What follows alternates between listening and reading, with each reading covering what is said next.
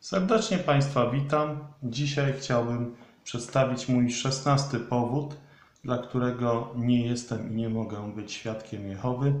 Ten szesnasty powód związany jest z tym, że zmartwychwstanie według Biblii dotyczy ciała i będzie miało miejsce w chwili powrotu Chrystusa, co świadczy nam Pismo Święte w takich miejscach jak Filipian, trzeci rozdział, 21 wiersz, 1 Tesaloniczan, 4 rozdział, 16 i 17 wiersz, Rzymian, 8 rozdział, 23 wiersz, 1 Koryntian, 15 rozdział, 44 wiersz oraz wiersze 51-53.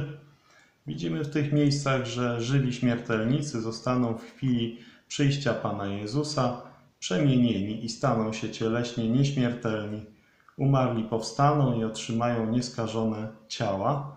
Oczywiście tutaj musimy wziąć pod uwagę, że ja koncentruję się na części dotyczącej chrześcijan oraz świętych Starego Testamentu, bo będzie również powstanie umarłych na sąd Białego Tronu. To będzie po tysiącletnim królestwie. Oddzielone są te dwa tak jakby elementy zmartwychwstania i tutaj nie ma między nimi styczności i ta druga faza zmartwychwstania jest później, a pierwsza faza zmartwychwstania jest wcześniej, w czasie zmartwychwstania związanego z przyjściem Pana Jezusa Chrystusa po swoich. I pierwsze z tych miejsc to jest Filipian, trzeci rozdział, 21 wiersz. Ja przeczytam od wiersza 20. Czytam oczywiście z tego przekładu zrewidowana Biblia Gdańska, przekład inaczej nazywany przekładem Bolesława Getze, wydany przez Trinitarne Towarzystwo Biblijne w Londynie, ale też był wydawany swego czasu przez Towarzystwo Biblijne. To jest ten sam przekład. On jest też znany z wydania Zjednoczonego Kościoła Ewangelicznego. To też był Nowy Testament przez nich wydany. Więc generalnie jest to przekład, który jest już dobrze znany wśród świętych w Polsce i ma swój autorytet. I teraz Filipian, trzeci rozdział, 20, 21 wiersz brzmi następująco. Nasza bowiem Ojczyzna w niebiosach, skąd i oczekujemy Zbawiciela, Pana Jezusa Chrystusa, który przemieni poniżone ciało nasze, aby się stało podobne chwalebnemu ciału Jego, według skutecznej mocy, którą też wszystko podbić sobie może. Więc widzimy tutaj jednoznacznie, że jest zapowiedź, że ciała wierzących w Pana Jezusa Chrystusa ludzi będą przemienione. One będą zmienione i one będą zmienione na podobieństwo chwalebnego ciała Pana Jezusa Chrystusa.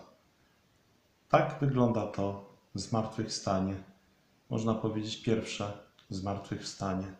I to pierwsze zmartwychwstanie jest tym, co Słowo Boże jednoznacznie pokazuje, a jest to zaprzeczane przez świadków Jehowy, ale nie tylko świadków Jehowy. Wiele grup błędnie tutaj interpretuje Słowo Boże. Kolejne miejsce, pierwszy Tesaloniczan, czwarty rozdział, szesnasty i siedemnasty wiersz. Ja przeczytam to od trzynastego wiersza. A nie chcę, bracia, abyście wiedzieć nie mieli o tych, którzy zasnęli, żebyście się nie smucili jak drudzy, którzy nadziei nie mają. Widzimy, że to jednoznacznie chodzi o tych, którzy są tutaj znani jako już ci, którzy odeszli, zmarli. Nazywani są tutaj tymi, którzy zasnęli. I to jest dalej. Albowiem jeśli wierzymy, że Jezus umarł i zmartwychwstał, tak Bóg i tych, którzy zasnęli w Jezusie, przywiedzie z Nim. Bóg w Piśmie Świętym nazywa śmierć chrześcijanina zaśnięciem, dlatego że to jest właśnie najlepsza nazwa. I dalej, bo to wam powiadamy w słowem pańskim, że my, którzy żywi pozostaniemy do przyjścia pańskiego, nie uprzedzimy tych, którzy zasnęli, gdyż sam Pan przy okrzyku, przy głosie Archanioła i przy trąbie Bożej stąpi z nieba, a umarli w Chrystusie powstaną pierwej. Czyli widać wyraźnie. A potem my, żywi, którzy pozostaniemy wespół z nimi, pochwyceni będziemy w obłokach na spotkanie Pana, na powietrze, a tak zawsze z Panem będziemy, przeto pocieszajcie się tymi słowami. Widzimy zatem, że te słowa z 16 i 17 wiersza świadczą jednoznacznie, że ciała będą tutaj jak najbardziej przemienione i pochwycone. Widzimy, że umarli w Chrystusie postaną pierwej, od tego słowa pierwej nazywane jest to pierwsze zmartwychwstanie, a drugie zmartwychwstanie będzie dotyczyło już tych, którzy staną na sądzie Białego Tronu. I tak to się odbędzie. Kolejna rzecz to jest rzecz opisana w liście do Rzymian, ósmy rozdział.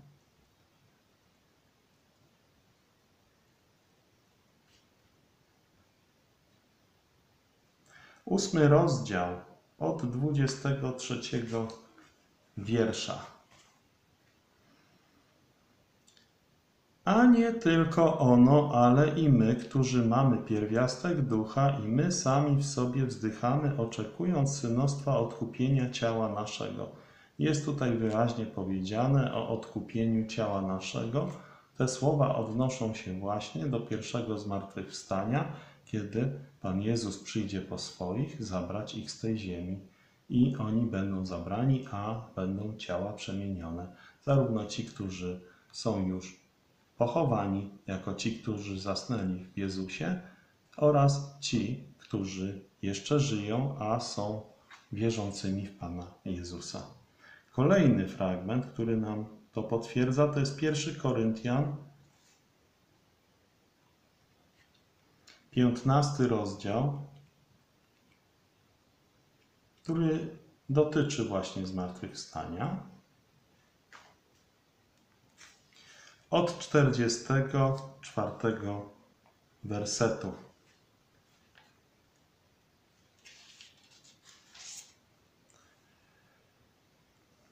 Jest ciało duszą żyjące, jest też ciało duchowe. Czyli widzimy, że mamy dwa ciała. Jedno ciało duszą żyjące, a drugie ciało ciało duchowe. Oczywiście człowiek, który jeszcze nie ma ciała duchowego, ma to ciało duszą żyjące, a jeśli przyjdzie Pan Jezus Chrystus i zabierze nas do siebie, to ono zostanie przemienione w ciało duchowe. I tak to właśnie wygląda. 51 do 53 wersetu. Tutaj Paweł objawia tajemnicę. Oto tajemnicę wam objawiam. Nie wszyscy zaśniemy, ale wszyscy przemienieni będziemy. Czyli widać wyraźnie, że wszyscy będą wierzący w Pana Jezusa Chrystusa przemienieni. Natychmiast, w okamgnieniu, na trąbę ostateczną albowiem zatrąbi i umarli wzbudzeni będą nieskazitelni, a my będziemy przemienieni, bo musi to, co skazitelne, przeoblec się w nieskazitelność i co śmiertelne, przeoblec się w nieśmiertelność. Czyli widzimy, że te ciała, które teraz mamy, które mają cechę wspólną, to jest namiot, który się rozpada, namiot, w którym mieszka dusza i duch, i to mieszkanie cielesne takie się rozpada, namiot się rozpada. To widzimy, że to zostanie zamienione na nieśmiertelne. Przeobleczamy się w nieśmiertelność. Jest to zupełnie sprzeczne z twierdzeniami świadków Jehowy. I kolejna rzecz to jest Co z tego wynika, skoro yy, mamy tutaj taką obietnicę, że Pan Jezus Chrystus przyjdzie po swoich, to musisz stać się swoim. Musisz stać się własnością Pana Jezusa Chrystusa. Czy Pan Jezus Chrystus zna Ciebie? Czy Pan Jezus Chrystus uważa Ciebie za swojego? Bo jeżeli uważa Ciebie za swojego, to wtedy będziesz zabrany razem z innymi wierzącymi w Pana Jezusa Chrystusa i Twoje ciało zostanie przemienione. Ale jeżeli nie jesteś znany Panu Jezusowi, to wtedy On powie Tobie nigdy Was nie znałem. Idźcie precz ode mnie w ogień wieczny, przygotowany diabłu i jego aniołom. Trafisz wtedy do jeziora ognia i siarki na zawsze, gdzie będziesz dręczony dniem i nocą na wieki wieków. Jest to straszliwa perspektywa, ale taka właśnie jest dla tych, którzy nie chcą iść z Panem Jezusem, nie chcą być Jego własnością, nie chcą się Mu podporządkować. Bo Słowo Boże nie pozostawia tu żadnych wątpliwości. Musisz uwierzyć w Pana Jezusa Chrystusa, aby być zbawionym.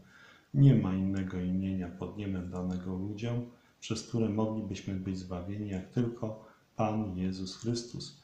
Pan Jezus Chrystus jest jedynym prawdziwym Bogiem, który przyjął postać sługi i stał się człowiekiem, a potem dał się przybić do krzyża, potem umarł na tym krzyżu, umierając za Twoje grzechy, potem zmartwychwstał, najpierw był pogrzebany, potem zmartwychwstał, potem został w niebo wzięty i teraz siedzi po prawicy Boga.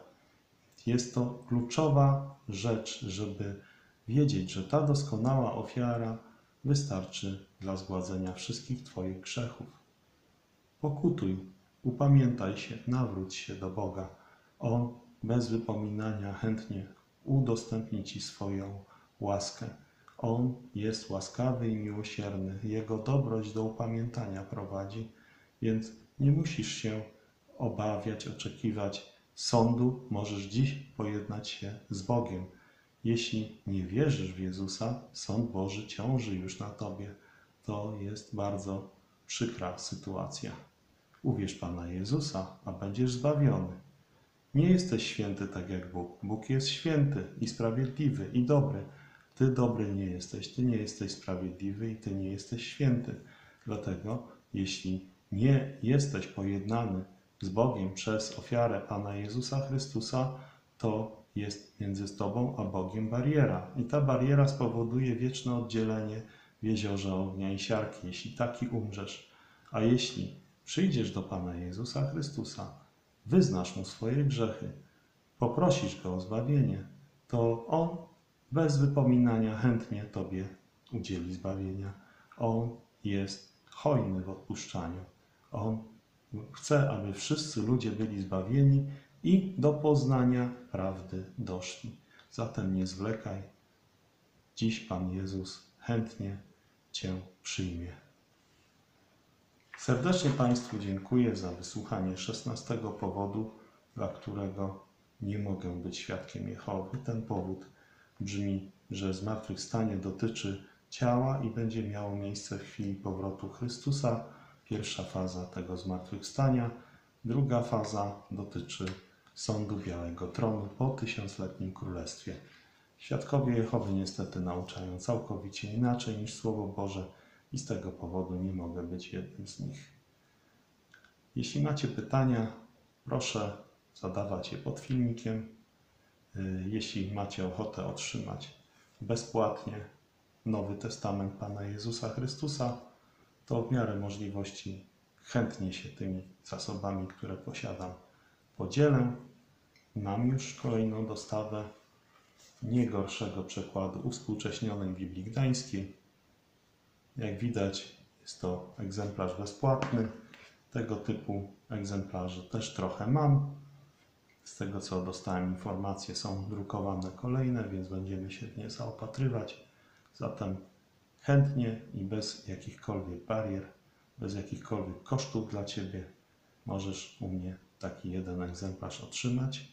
Jeśli będę miał, to y, w miarę możliwości będę chciał wysłać każdemu, kto napisze SMS 791 214 963 albo tradycyjną pocztą Czytaj Biblię, skrytka pocztowa 31 63 500 Ostrzeszów.